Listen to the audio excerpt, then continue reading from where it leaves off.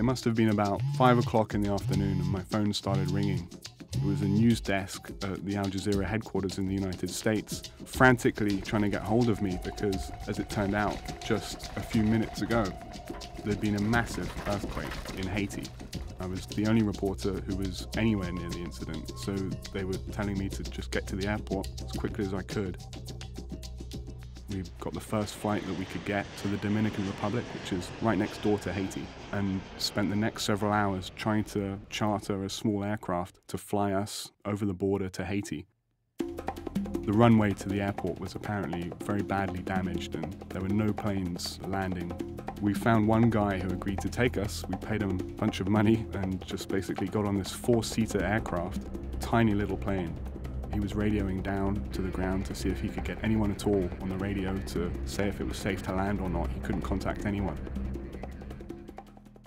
When we landed, we were the only people there. We were some of the first journalists to actually arrive on the scene with a little camera and a few thousand dollars and you know no idea what to do next. The airport was completely destroyed. There was a massive crack through the entire building. The uh, control tower had collapsed. The runway itself, the paving was all cracked. We found this Haitian guy who'd been hanging around at the airport offering his services as a fixer and driver. We hired him on the spot and got him to drive us into the city.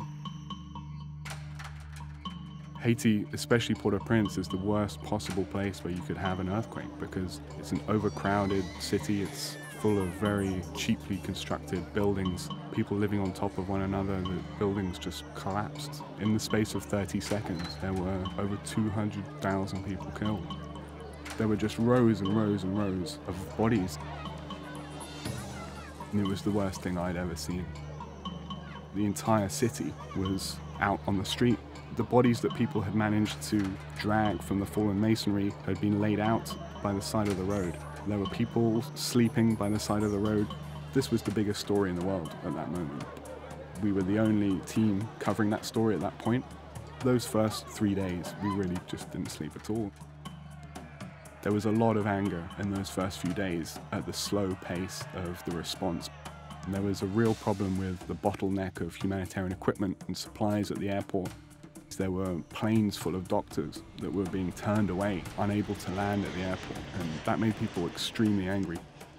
There were still people trapped under the rubble, but a lot of the responders were not able to work at night because of security considerations there is a, a, stereotype of Haiti being a dangerous country, Haiti being a place where you will be at risk after dark on the streets. This was a country that had been hit by a devastating disaster. This was a time when, from what Haitians told us, the country had never been more united. From what we saw on the ground, there was very little basis for a concern about security. When I arrived in Haiti, I thought I would be there for maybe a week at the most, but I never left. I was there for the next 18 months. The situation for many months after the earthquake was really awful. There were one and a half million people living in tents around the outskirts of Port au Prince in terrible conditions, very unsanitary conditions I think it was October the 20th, in the evening when I first got a note from my news desk that was saying there had been an outbreak of a mystery disease in a town about two hours north of Port au Prince, a town called Saint Marc. 19 people had been taken ill and died in a hospital in Haiti's rural heartland. When we arrived at the hospital, there were people being carried in on beds, people being carried in on doors. There were just streams of very sick, dying Haitians arriving at this tiny clinic.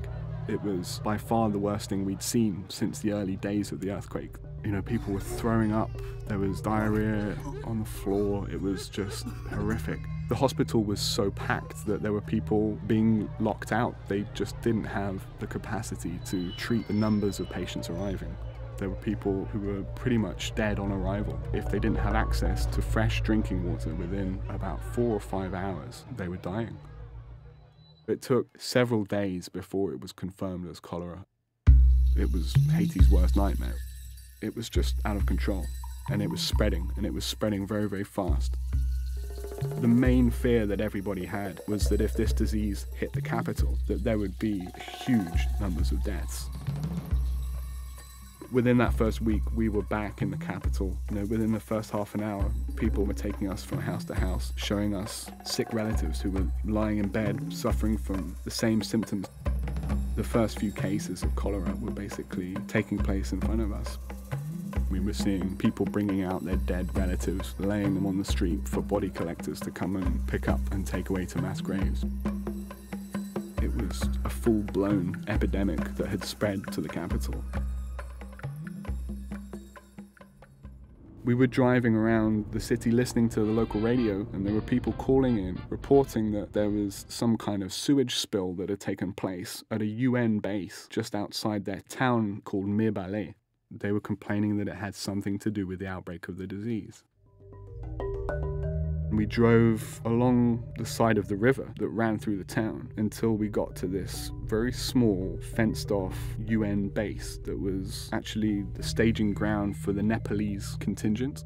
We knocked on the gate to ask if we could go in. They didn't let us in.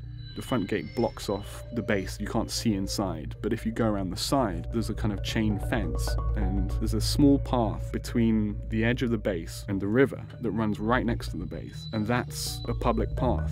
I remember the first thing that we saw was about two dozen UN Nepalese peacekeepers frantically clearing up this putrid smelling mess that was leaking out of one of the buildings on the base. They were digging around this boggy patch of brown liquid that was smelt like sewage, and they were really upset that we were there, and they were telling us not to film. We could see this horrible smelling liquid dripping from the base, basically across the path into the river. What we were seeing right there was the smoking gun eventually one of the guys started talking to me a little bit and I was saying, What is this building? Can you tell me what this is? Is, is this a toilet? And he kind of looked back at the building and looked back to me and just kind of looked really guilty and eventually he said, Yeah, it's a toilet.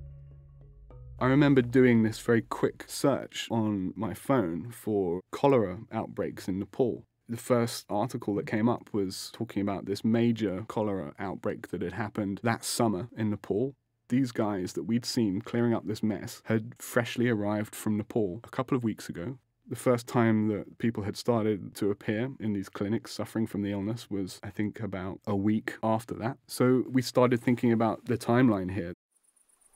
You get cholera from drinking contaminated water. And in Haiti, the sanitation infrastructure just isn't there. People get most of their water from the, local river. So this was the river that had been contaminated. The Artibonite River feeds an entire region. It spreads throughout the, the rural heartland of Haiti, supplying all of these towns and villages with their water. People just drink from the river. For weeks after the outbreak happened, Haitians were still drinking from that river. I mean, that is the only source of water that many Haitians have.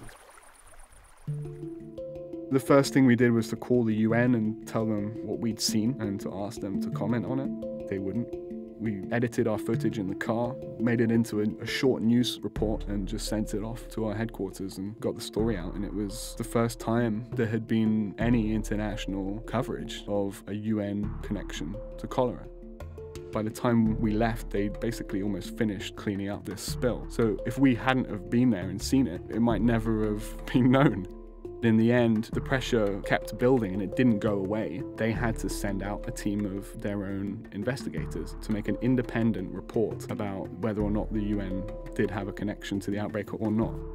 When the report came out, it made headlines around the world because the investigators said that not only was there some basis in these reports about a UN link to the outbreak, they identified the area where the outbreak started as being the area next to the base. A few months after that report came out, the families got together and tried to get justice for you know the loss of their relatives. They filed a lawsuit against the United Nations asking for the UN to acknowledge responsibility and to pay compensation. The UN basically stonewalled them for over a year. We had to go all the way to UN headquarters in New York before we were able to get any official to speak to us on record on the way, the UN finally came out with its response to the lawsuit. Their response was to dismiss it out of hand and basically claim immunity. So, my interview with this deputy spokesperson was really just this kind of bizarre game of trying to ask the guy whether or not he thought the UN was liable, and him basically reading the statement off a piece of paper and, and refusing to engage any more than that. We went out of that interview down the corridors towards the Secretary General's office and tried to find officials on the way, more senior officials who could answer our questions. In the end, we were banned from the UN headquarters. We were told to leave the premises, not to come back.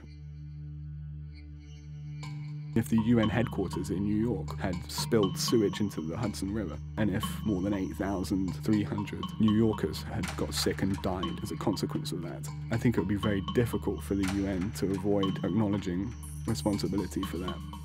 But somehow they managed to do that with Haiti.